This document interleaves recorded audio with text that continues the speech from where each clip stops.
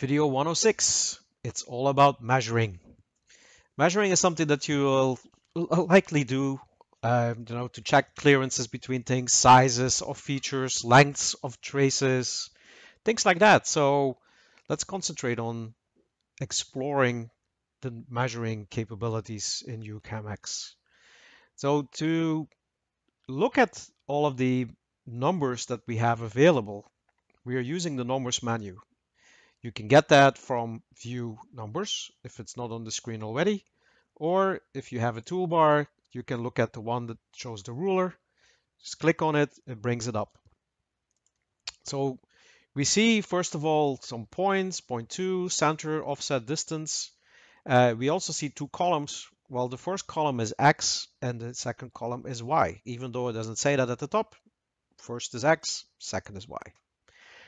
So what are the different capabilities of measuring? Well, we have a couple of nice built-in features, and we'll start with the first one, which is called measure objects.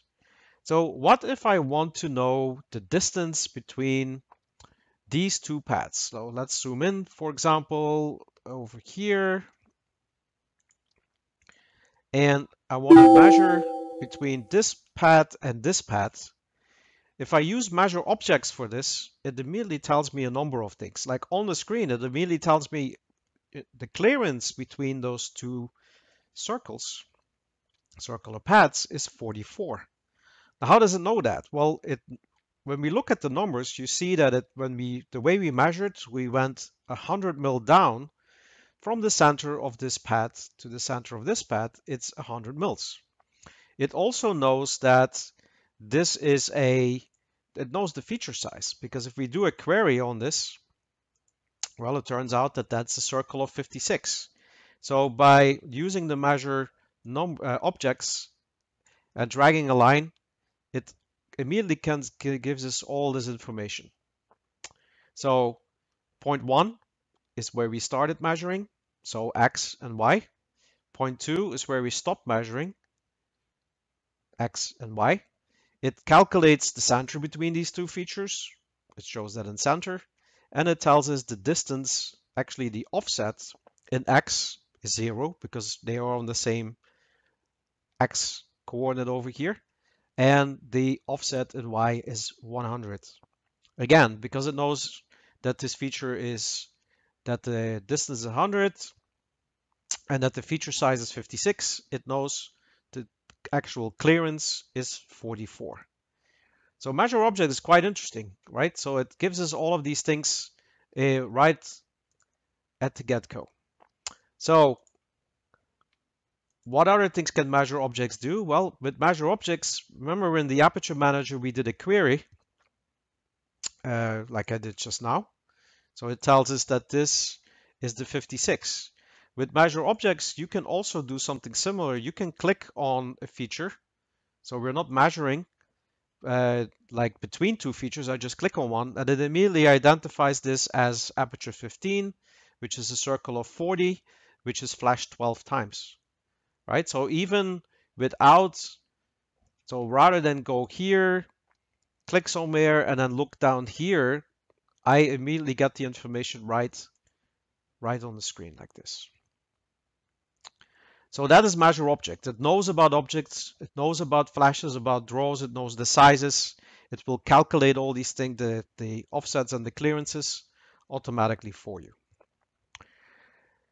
Now, when it does that, like for example, I want to know how big this board is. Now, if I measure this with the objects from here to here, you will see that it will always automatically grab the shortest distance between those objects.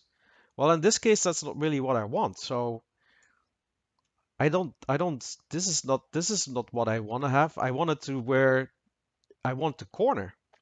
Well, measure objects, since it automatically grabs the object and it's going to go the closest distance, it's not going to help us out over here. So let's explore the next option, which is measure points. With measure points, I can actually go into the corner and from one corner to the other. Now, if I just do this, it doesn't know this is just freehand, right? So I can drag, it tells me automatically what the measurement is, but that's not really what I want. I want it from the corner. So that's where our snap modes come into play. And we will return to this in future videos, but for now, let's say that we're gonna switch the snap to point on. And with snap to points, I can point in the corner. You see how it, the little X is snapping into the corner. I move to my other corner and I let go. And the offset is 5905 and a half in X and 3937 in Y. So my board size is 5,905 and a half by 3,937. Now, there's also a measure layer. So wouldn't I have been able to use measure layer for this?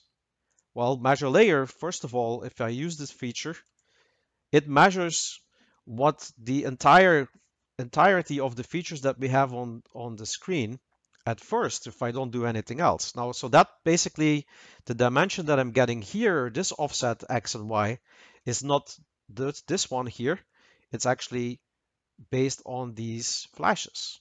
So of course I could remove those flashes uh, and do this measurement again, but I haven't shown you how to do this yet. So that will be for a future video. How can I still measure the size of the board without deleting anything? Well, we did already use the select window, so I'm going to use this again. Select window. I'm going to select my actual board, and now I'm going to click on layer. And suddenly I see completely different numbers because even though it says measure layer, you actually have to read this as measure the selections on the layer. If there's no selections, it takes everything. If there if there are selections, it takes the selections. So of course I'm gonna get a little bit different value because this actually measures the measure layer it goes from the outside of the feature to the outside of the feature. So I'm getting a slightly different dimension. Reason being is that, well, those lines actually have a size. They're size 8. So I could figure out based on this minus the size, I can again, I can figure out what the exact board size is. But again, for the board size, it would be easier to just use my measure points like I showed before. Another nice application of a measure layer is for something like this. Let's say that we go here. Um, let's move a little bit up. I want to go here. I want to know the length of this piece of draw over here. Now, how if I use measure objects, I can I can click here and here, and I'm getting the offset. Now the offset is, as I explained earlier, is between the hard line and the hard line.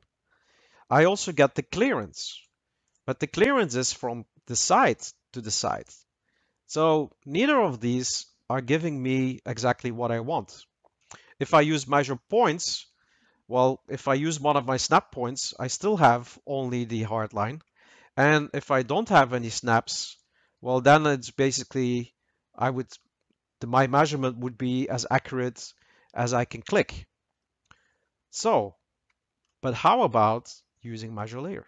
Well, if I select this line like this, and now I do a measure layer, I actually get here to here.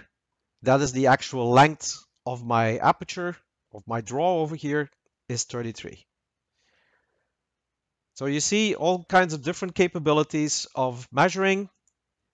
And that concludes video 106. Thank you.